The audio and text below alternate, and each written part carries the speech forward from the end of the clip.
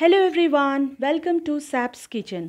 आज मैं आपको पीनट कट चटनी बनाना बताऊँगी, जो कि देखने में तो डिलीशियस है ही, साथ में खाने में तो बहुत ज़्यादा डिलीशियस है ये। आप इसी तरह बनाइए और फिर मुझे कमेंट करके कमेंट बॉक्स में बताइए। ये चटनी हम पराठा, इडली, डोसा उत्पम किसी के साथ भी खा सकते हैं, बहुत ही टेस्टी लगती है। तो चलिए देखते हैं कैसे बनती है चटनी। यहाँ मैंने हाफ़ कप कर्ड ले लिया है। और उसमें मैंने ऐड किया है ग्रीन चिली। इसे मैंने तोड़ के डाल लिया है।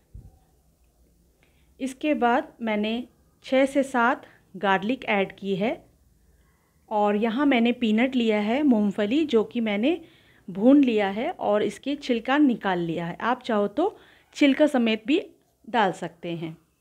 इसके बाद मैंने धनिया पत्ती धो के इसमें ऐड कर ली है।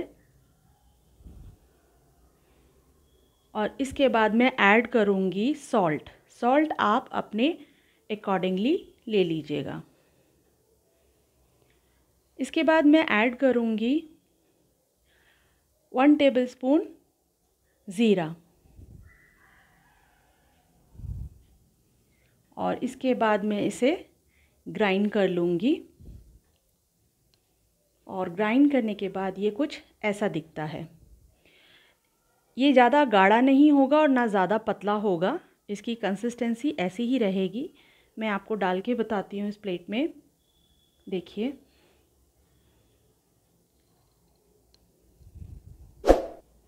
अगर आपको मेरा वीडियो पसंद आए तो लाइक शेयर सब्सक्राइब ज़रूर कीजिए और कमेंट ज़रूर कीजिए।